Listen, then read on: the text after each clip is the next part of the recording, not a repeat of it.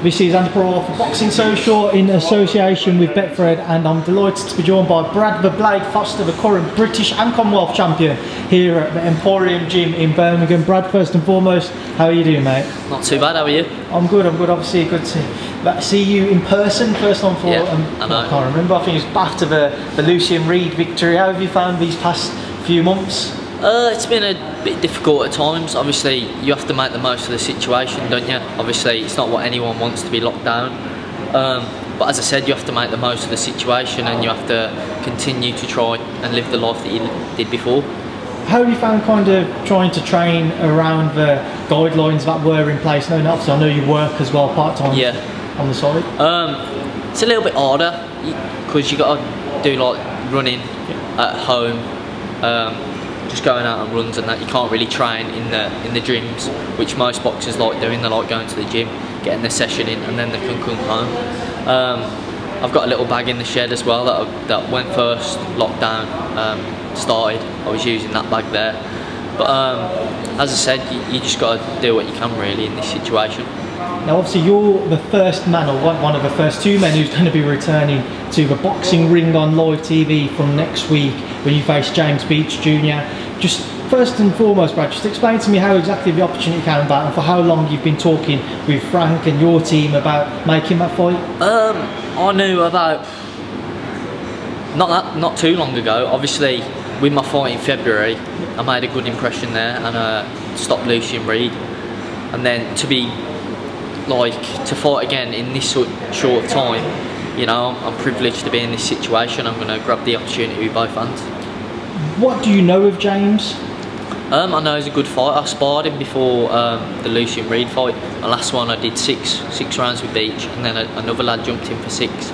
Um, and I know he's a good fighter, um, and I know he's coming to to put a good fight in and to try and take the belts off me. When you reflect obviously on those sparring sessions, what can you take from it? You know, do you take confidence from it or do you not really look into it? Uh, I don't look into it too much um, because sparring, sparring, fighting's fighting. It's completely different when you got them eight ounce gloves on. Yeah. um, and you're under them lights on fight night. Everyone levels up on fight night. So um, I'm expecting a good fight, but I'm expecting a Brad Foster win. Beech will obviously be an unknown quantity to many.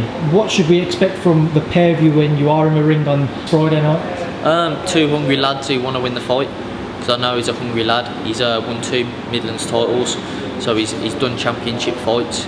Um, he's done the 10 round distance twice. Um, so he's a good lad. Yeah, no mug. Obviously, on the back of such a terrific performance against Lucien Reid last time out, you're the first man to return to the ring on live TV this time. Are you feeling the pressure to deliver again in front of what will be, I anticipate, huge numbers on, on TV network? Uh, I wouldn't say I'm feeling the pressure. My job is to just get in there and win the fight. I don't think about what everyone else is going to think. My job is to get in there, shine, which I'm confident I will do, and win the fight and keep that British belt. How do you feel boxing behind closed doors? What's your thoughts on kind of that scenario? Uh, I, that doesn't really bother me, to be honest. Well, we'll, we'll find out on the night. Um, obviously, there's not going to be a crowd there, but the job is still the same. Um, the job is to still win the fight and win it comfortably. I know you have a, a huge support, Brad's Barmy Army. Yeah. How much of a miss do you think they will be on the? 'Cause I know how much it means to you to have them following you up and down the country. Yeah, yeah. Obviously, I have a, a brilliant support coming from Lichfield. Um, I'm sure they'll be cheering me on at home. There'll be a few house parties, I imagine, when I win. Um, so uh, thank you to them. I hope they uh, tune in on BT Sport. How are you anticipating the fight playing out when you are in the ring? Um, we'll think of it when we get in there. I know, I know it's going to go in my head, um, but we'll see when we're in there. When, just to go back to obviously the, the TV side of things, this could be obviously a brilliant opportunity for yourself to get your name out there to an even bigger prospect to what it was when you fought Lucien Reid and previous occasions before that, simply because you are the first name back. How big of an opportunity is this for you to kind of stamp your authority on British boxing? Oh, it's a massive opportunity, as you said. Look, what, look how much people have missed football, and how, how big that was when it came back. It's going to be the same with boxing because there's a lot of boxing fans out there, and to be the first fight back, um, you know, I have to shine, and I'm confident I will do. And it's a massive opportunity in front of a massive audience on BT Sport. Obviously, we- we're still kind of adhering to social distancing rules. We're obviously a metre away Yeah. here or two metres away. How, I know it's kind of hard to say, but how can you see the rest of this year, provided next Friday goes to plan? Do you think you will be out again, or do you think it's going to be hard because of the current situation? Uh, I'm not. I'm not thinking past this fight. I'm thinking of getting the win um, next Friday on the 10th of July, and then we can assess what's next after that.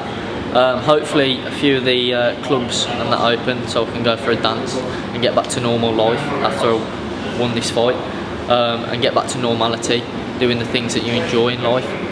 Um, but my main goal is to uh, win on the 10th of July.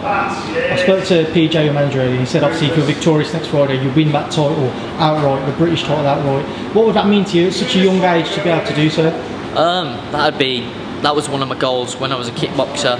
Obviously, when I turned over at 18 with no amateur fights, no no boxing fights, my goal was to win the, the British title outright. And you know, this is going to be a massive night for me. That's why I've worked so hard in training. That's why I'm really motivated to get in there and shine. Do you ever look back and think to yourself, you- you've surprised yourself by just how, how well you've taken to boxing from, I know you have a brilliant kickboxing background, but to the transition of sports, to very different sports, there's a lot more focus on other aspects to boxing than what you have in kickboxing. Has it ever surprised you by just how well you've taken to the sport? Uh, I surprise myself every day, to be honest. um, I learn every day. I'm still a young young lad, you know, 22. I'm, I'm still a babe in the sport, so I'm just learning as I go on, learning every day, surprising myself every day, and uh, you know, winning fights, and who knows where I can go. Brad, one thing I just wanted to ask you as well, a name that's kind of been eager to get about with yourself, different promotional banner, underneath a different promotional banner, is uh, Qais Ashfaq. Is that a fight that you've, you've thought about or you've been interested in? Yeah, I know he's a good fighter, but um, 10th of July I'm fighting James Beech, not Ashfaq, so I've got to get through that one first. that's very well said there, Brad. Now we'll leave you now to have your training session. It's been a pleasure to catch up with you, mate. Best of luck for next Friday, and I'll speak to you soon. Thanks for speaking to. Social. Thank you very much.